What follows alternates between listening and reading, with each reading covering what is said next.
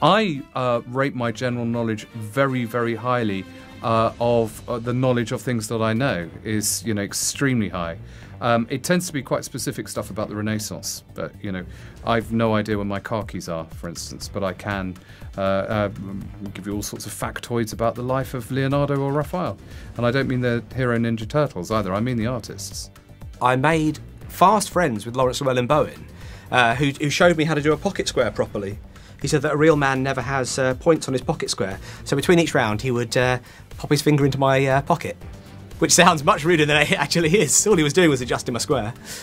I don't think anyone formed any rivalries really. Um, I, I, think it was pointed out by Adam actually that we were all being very sweet and very friendly to each other, which is different to the normal daytime show when they just want to win all the money. So uh, no, it was very friendly rivalry that was out there today. It was uh, very sweet and lovely. It was like a big celebrity orgy. Well, I've only been on one uh, televised quiz show before, and I and I crumbled, and uh, brought shame on my family, who like this particular quiz show. I'm very disappointed. Um, they also like 15 to one, so there's quite a lot of pressure um, from my family for me to do well, which I suspect will make me crumble again. Laurence Llewelyn Bowen had had it in for me.